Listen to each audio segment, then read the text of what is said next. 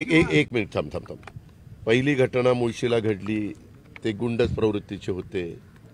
गुंडांनीच गुंडांचा काटा काढला. हे तर खरं आहे ना? का दुसरं कोण आलं होतं? एक मिनिट. हे तसं झालं.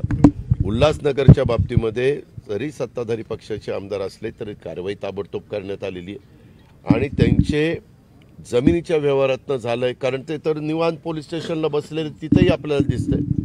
बरं त्याच्यामध्ये पोलिसांचं म्हणजे खरोखरीच कौतुक केलं पाहिजे एक नागरिक म्हणून.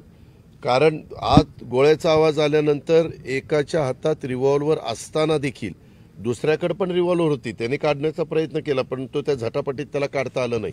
नाहीतर आणखीन काही वेगळं घडलं असतं का सांगता येत नाही. पोलीस आले. पोलिसांनी तिथं दो दोन पोलीस आतमध्ये आले आणि त्यांनी ते कंट्रोल केलं.